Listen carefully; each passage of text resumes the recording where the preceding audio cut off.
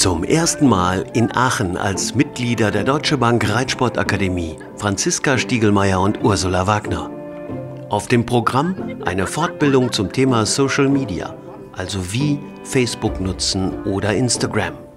Ich denke, gerade die Social Media werden immer wichtiger und es ist auch als Sportler natürlich die Außenrepräsentation sehr wichtig. Insofern denke ich, ist es durchaus sinnvoll, dass wir uns da auch mal ein bisschen genauer damit befassen. Es ist das erste Mal, äh, dass ich bei so einem Medientraining dabei bin.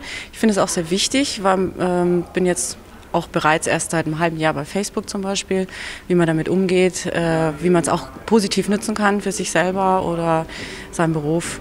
Bin gespannt. Zum Medientraining sind alle aktuellen Stipendiaten eingeladen. Nach einem Einblick in die rechtliche Seite geht es gleich praktisch zu. Am spannendsten war natürlich, wie sie uns auf die Leute losgelassen haben und gesagt, jetzt geht ihr mal raus und dreht drei Live-Videos selbst. Äh, ja, da ist man am Anfang schon erst so, was, ich, wie soll ich jetzt? Aber gut. Wir hatten uns auch schon ein paar Themen überlegt und dann hatte ich aber das Glück, dass ich die Treppe runterlief und dann sah ich, da ist Isabel Wert und da habe ich gedacht, das ist doch ein gutes Thema, ich schnapp mir die und ja, sie hat sofort mitgemacht und das war natürlich für uns gut.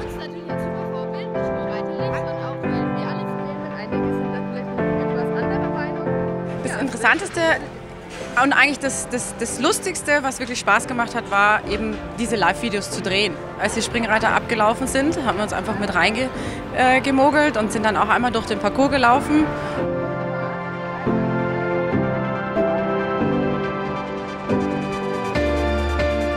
und hatten einmal äh, das Glück, wir durften hinter die Kulissen schauen von den Medien, von WDR, ZDF.